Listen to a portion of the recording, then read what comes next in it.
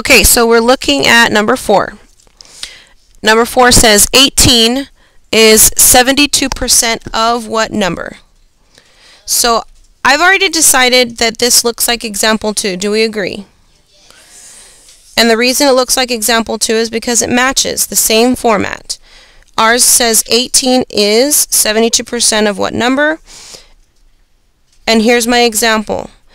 Please tell me, what do I know about every proportion? What about a 100? Thank you. It's always the bottom right because this second ratio is going to be my percent stuff. Okay, that's my percent information, and I know that percents are out of 100. And if you're not writing this down, you should.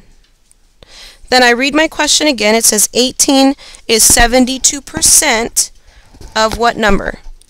So my question, do I have a percent to use here? Yes, what is it? Thank you. And again, this is my percent information. In fact, look at that fraction, 72 out of 100. That's exactly the same answer as 72%. Now looking back, it says 18 is 72% of what number? Here, it tells me that 16 is the part, which means for my problem, 18 is also the part. That means it goes on top. And I'm going to go ahead and put W for the whole because that's what I'm looking for.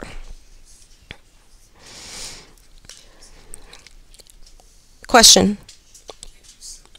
We might be able to, let's look. 72 and 100, they're both even, which means I can simplify. By 2 at least, right? What's half of 72? 36. Okay, 36, and that would be 50.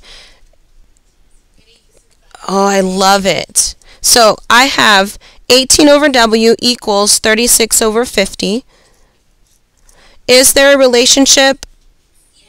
yes. What's my scale factor going to be? Times 2.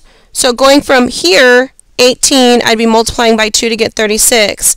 But I kind of need to go in the opposite direction because I need to know from here, how do I get this answer? So what's the opposite? Wait, wait, hold on. Opposite of multiplying by 2 would be dividing by 2. So from here to here needs to be dividing by 2. 36 divided by 2 gives me 18. So 50 divided by 2 gives me W equals 25. I'm impressed. That was pretty good.